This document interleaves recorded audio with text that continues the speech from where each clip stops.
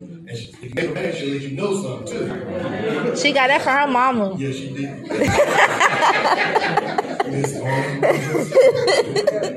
I remember one time, ladies and gentlemen, when I first just became sheriff, I was parked at the credit union here off uh, boulevard. I was parked in the credit union, just sitting there with my windows down a little bit.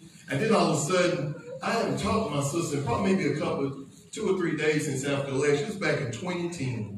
And all of a sudden, I looked over to, to the right and I said, Charlene. I waved to her. She waved back to him. She said, you. And she dropped some explicits. That's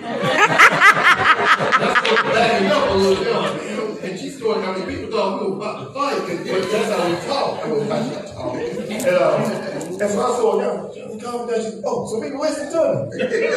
yeah, everybody's listening to you. So a long story short, she always, always fashionable. I remember I just started dating this uh, young female at school. And Shani had this pearl pocketbook that she kept back there in the back closet.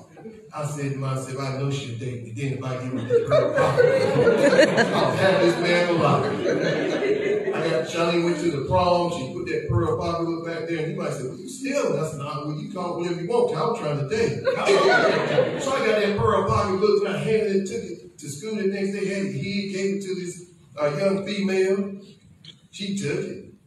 Next thing I said, man, she's still ain't working. Still ain't working. So then I went rambling for another college. I went into my mother's bottom drawer and got her wedding ring.